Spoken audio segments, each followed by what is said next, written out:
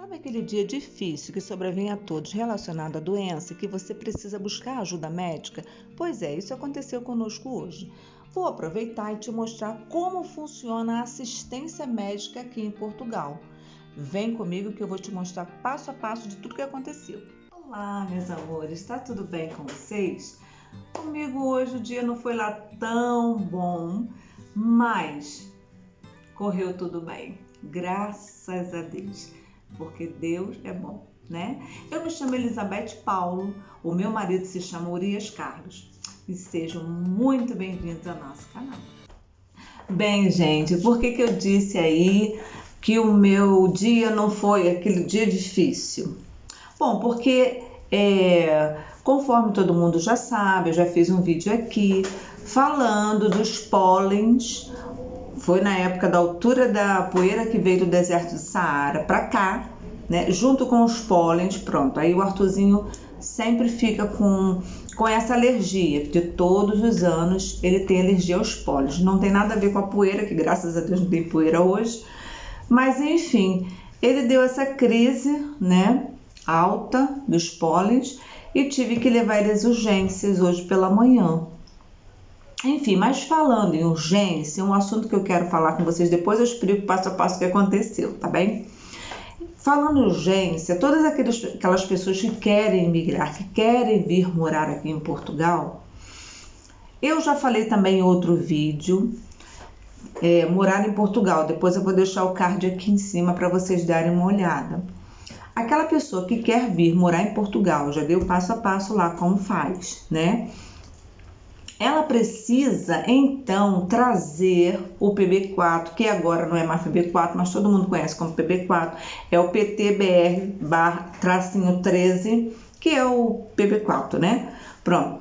Você precisa trazer este documento, que é um acordo que Portugal tem com o Brasil, que qualquer estrangeiro brasileiro que esteja aqui em Portugal que precise de uma assistência médica, ele vai ter que ter, vai ter que ser atendido. Pronto. Se não tiver esse PB4, se não tiver esse PTBR-13, o que, que vai acontecer se você eventualmente, espero que não, que, que não aconteça isso com você. Mas se você tiver uma emergência, precise para as urgências. Então você precisa ou pagar, e não é barato, tá? Tá em torno, a última vez que eu vi, é, é 35 euros, ou pode ser até mais, eu não sei, porque quem não tem a residência, o título de residência aqui, paga, tá bem? Mas se você pode, claro, você vai ficar aqui, vai fazer descontos e tal, e vai conseguir o seu título de residência, mas você precisa de uma assistência. E essa assistência é o quê? Gratuita, mas, aliás, gratuita em termos, porque mesmo com o PB4, se você não trouxer isso, o que, que vai acontecer? Se acontecer alguma coisa, você vai ter que pagar, meu amigo. E são 35 euros que você vai ter que desembolsar fora as medicações. E se você já vier com esse documento, você vai pagar uma taxa moderadora como todos os portugueses pagam, tá bem? E é assim, então, voltando lá ao assunto do Arthurzinho, tivemos que levar ele para as urgências. Como graças a Deus nós já temos o título de residência e temos o TENTE. O TENTE que é um número de atendimento aqui, é uma folhinha, pronto, não está aqui comigo agora, mas é o TENTE, é um número que você tem e sem esse o TENTE, você, é, você paga também as taxas moderadoras, a criança não paga até uma certa idade. E se você não tiver, você vai ter que pagar, tá bem? E quem é que pode ter esse título, esse utente, Beth? Todo aquele que tem o título de residência. Antigamente, mesmo sem ter o título de residência, eu peguei essa época, o meu, o meu utente, o utente dos meus filhos, do meu Arthur, não. Do Arthur foi em 2017, mas do Breno, do Urias e o meu, tudo de 2008. Na altura, nós não tínhamos a residência o já tinha feito só manifestação de interesse. Mas, pronto, agora tá assim, tá bem? Eles estão exigindo sim que a pessoa tenha o título de residência para ter o utente. Se você não trouxer esse documento, é essencial trazer, porque muitas pessoas que até tra que trazem é, se tiver que fazer um parto, se tiver que fazer uma, uma cirurgia, alguma coisa desse tipo, você vai pagar como português, tá bem? Aí você que fica a seu critério. Então, tá qual é o meu conselho? Traga esse documento.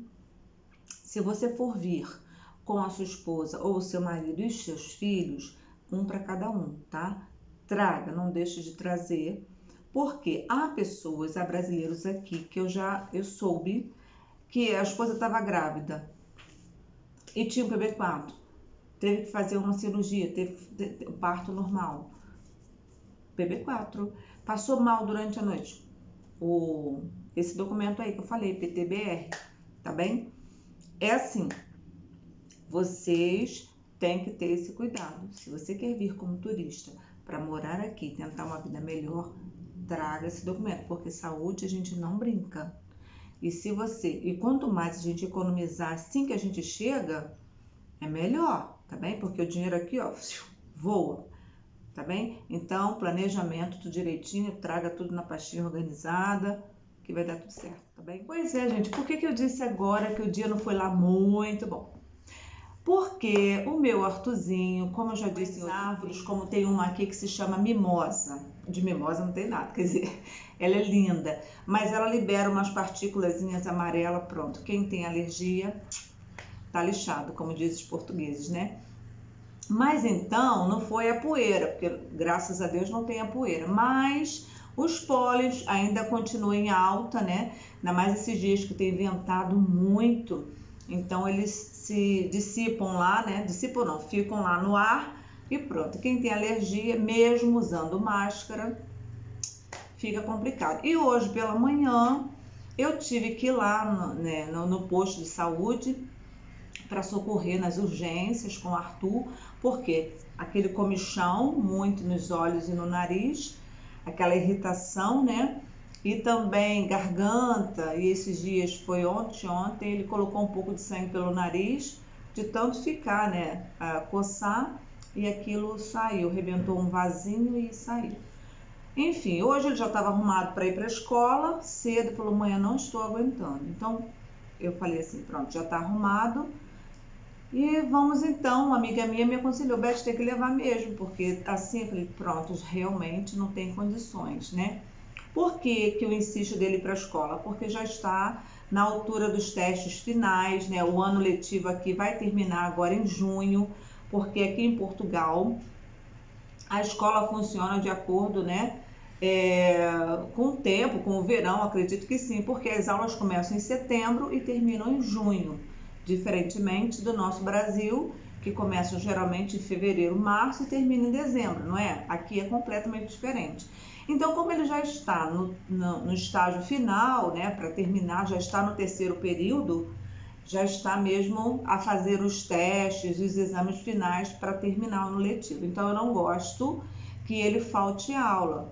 Mesmo estando assim, não está com febre, mas está com irritaçãozinha, eu mando para a escola sim. Lá eu falo para ele, se não se sentir bem, pede o DT, que é o diretor de turma, que ele libera a sua saída para você vir para casa. Mas assim, épocas de exames finais eu não gosto que ele falte. Mas hoje realmente eu vi que ele não estava em condição. Levei nas urgências, foi atendido. Primeiro você vai, faz a, a fichinha né, da criança e tal, e espera. A consulta dele estava prevista para as 10 horas. Voltamos para casa então, para voltar, eu tinha, porque todo mundo sabe, né? Eu não tenho carta de condução K, então estou a tirar. E não posso conduzir, então eu tive que depender de autocarro. Só que Deus é tão bom, gente. Quando a gente coloca Deus em primeiro lugar na nossa vida, as coisas fluem. É como eu sempre falo para vocês: se colocar Deus em primeiro lugar, as coisas fluem. Hoje parecia um dia assim que não tinha solução. Eu não, eu não conduzo, eu falei, meu Deus, eu vou de autocarro. Fomos, é, ganhamos uma bolinha, boleia, que é carona, né? Do nosso amigo. Nós fomos com a boleia que, graças a Deus, Deus enviou ele para me abençoar, nos abençoar hoje. Ele nos deixou lá e foi trabalhar. E depois, na saída, tivemos que vir a pé.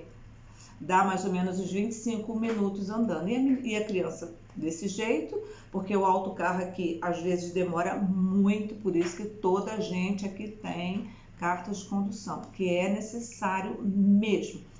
Então, eu falei assim, meu Deus, meu Deus, hoje é daqueles dias assim que você fala assim, pronto, acabou tudo, não tem solução, porque a criança com aquela aflição toda e eu nervosa, falei, meu Deus, como é que eu vou? Porque é longe, é um pouquinho longe, dá para ir a pé, mas é longe. Para uma pessoa que está passando mal, não tem como.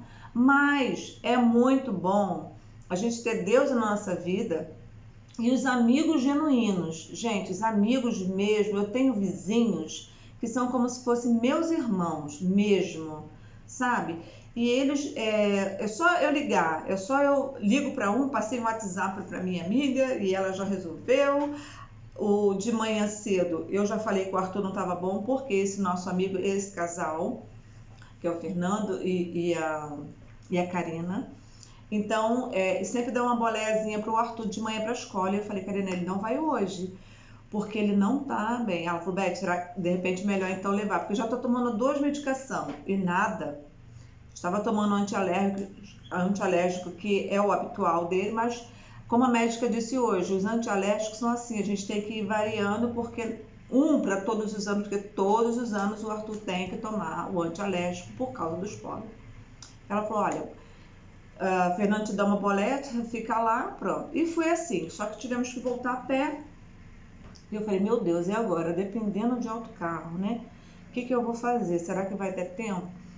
Então, uma outra amiga, a Isabelle e a Sheila, né? Elas combinaram, né, assim, elas, elas tinham um compromisso delas, né, de resolver a vidinha delas, e me deixaram lá com o Arthur e eu pedi assim, será que na volta vocês podem me buscar? Olha, prontamente a Isabelle foi lá, me buscou. Sabe, gente, então, a outra vizinha já perguntou, então, como é que o Arthur está? Então, aqui eu estou cercada graças a Deus por pessoas maravilhosas. Então, quem está aqui em Portugal ou quem quer vir para cá, eu aconselho. Gente, não é interesse, mas sim as pessoas. A gente tem que se dar bem com todos. Não interessa se é português, se é, é se é com os indianos, se são os asiáticos, os chineses. Nós temos que nos dar bem com toda a gente. Às vezes vem para cá e fala assim, ah, porque português é esse e aquilo. Gente, português sempre nos ajudaram. E os nossos conterrâneos aqui, graças a Deus, são pessoas maravilhosas e são como se fossem os nossos irmãos, são amigos. Sempre quando tem aniversário de um, vem todo mundo. Quando tem aniversário do outro, vai todo mundo. E é assim, a gente se dá a mão, sabe? E a gente se abraça mesmo. Então tem que ser assim, todo aquele que está disposto a emigrar, seja que lado do mundo for, você tem que fazer sim a amizade, a amizade genuína, a amizade de você se disponibilizar para ajudar, como também quando você precisa, você menos espera assim, fala, meu Deus, e agora? O que, que eu vou fazer? Sempre um que levanta a mão, não, tô aqui, não, vamos embora, não. E é assim, são uns pelos outros. Enquanto as pessoas não aprenderem isso, que nós somos, não tem que haver egoísmo, não tem que haver aquela palavra assim que diz assim, a minha, o meu umbigo primeiro, minha farinha pouco, meu, meu pirão primeiro, não é assim? Lá no Brasil dizemos assim. Não, não tem que ser assim, né? Porque nós, nós temos, estamos, temos que ser uns pelos outros, né? E por falar nisso, a questão também da Ucrânia, né? Aquela situação tão difícil que o, o, os nossos irmãos, eu falo irmãos porque todos nós somos filhos de Deus, né? Não interessa a sua religião, não interessa o seu modo de pensamento, né? Eu, eu creio, eu acredito sim que todos somos filhos de Deus e cada um de nós vamos prestar contas unicamente a Ele, não a homens, né? Então, como o Senhor Jesus nos ensinou, né? É a lei que temos que amar a Deus sobre todas as coisas e ao próximo. Jesus não disse a religião desse A ou B, ao próximo como a ti mesmo. Então, o que eu quero para minha vida e para minha família, eu tenho que querer também para o outro, né? Esse é o pensamento de todo aquele que é verdadeiramente cristão. Então, eu sou muito grata aos meus amigos, principalmente a Deus por ter colocado eles na minha vida.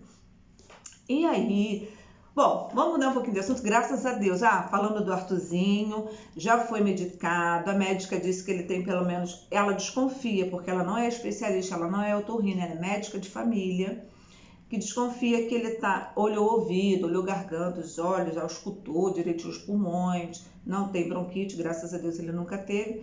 Mas ela desconfia que ele tem uma atrofiazinha lá no nariz, como o Breno também teve, meu filho mais velho e fez cirurgia e tá bem. Só que assim, é, tempo assim também, o Breno, se chegar perto de gatinho, então o Breno não fica bem não. E pronto, é assim, é de família, né?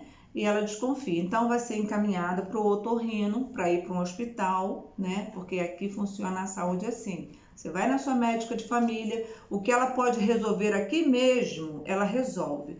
Quando há necessidade de você ir num especialista, aí sim ela faz o encaminhamento, é tudo informatizado. Já bate lá no hospital, o hospital já sabe, já vai, organiza a agenda e manda uma carta para sua casa ou pelo telemóvel, ou seja, pelo telefone, mensagem de texto a dizer que você tem a, que é criança ou você tem a consulta tal, no dia tal, exame tal, tudo certinho. É tudo informatizado. Então, a minha médica de família está de férias. Quem nos atendeu foi uma outra médica de família. Quando ela, a minha médica voltar, a nossa médica da nossa família voltar de férias, eu tenho que ir lá para ela passar esse encaminhamento para o Arthurzinho. Entretanto, o Arthurzinho, já passei a farmácia, essa minha amiga passou lá, graças a Deus. Já comprei as medicações, ele já está usando a medicação e eu creio que vai ficar tudo bem porque Deus. É então é isso, meus amigos. Essa foi a situação inesperada, né, que eu passei por hoje, passamos, mas graças a Deus está tudo bem. Eu espero que vocês tenham gostado do vídeo dessas informações que eu disse a respeito de como é a assistência médica aqui em Portugal. E se você gostou desse vídeo, curte, compartilha, comenta, comenta aí embaixo se você tiver alguma dúvida, porque se eu puder ajudar, eu vou ajudar certamente, tá bem? Porque essa é a minha intenção. Obrigada pela atenção, pela boa companhia e até o próximo vídeo. Tchau!